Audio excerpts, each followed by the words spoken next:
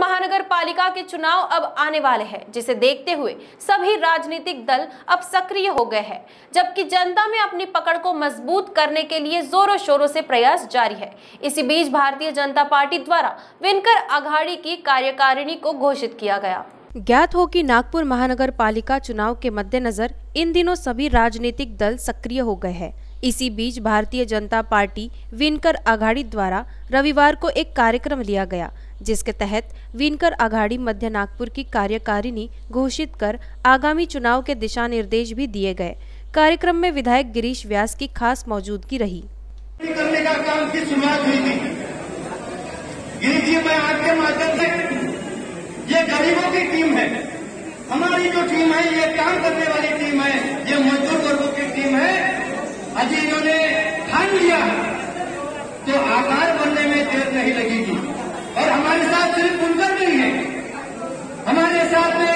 विमान जुड़ रहा है। हमारे साथ में चंद्रकर भाई जुड़।